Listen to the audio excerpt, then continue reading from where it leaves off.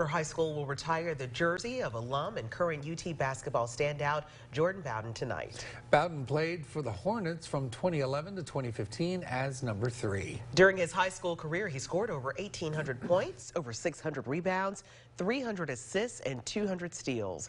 Bowden also continues to be an ambassador for Carter High School and community while at the University of Tennessee.